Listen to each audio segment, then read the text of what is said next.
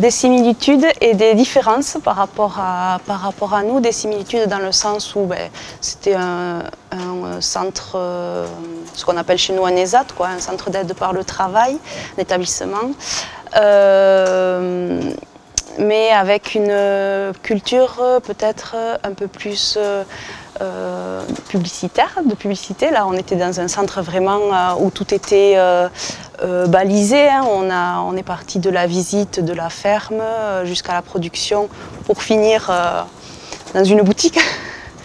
Mais donc un aspect un peu commercial que chez nous peut-être on a moins mais en même temps intéressant parce qu'on voyait bien que les personnes accompagnées, handicapées étaient, étaient en contact direct avec le public et euh, peut-être euh, que c'est un mode d'inclusion euh, qui est intéressant, qui serait peut-être intéressant à développer chez nous aussi. Voilà. On a peut-être une culture, nous, un peu plus, des centres un peu plus fermés et centrés sur eux, quoi. Pas forcément sur l'extérieur. Voilà, donc ça c'était très intéressant.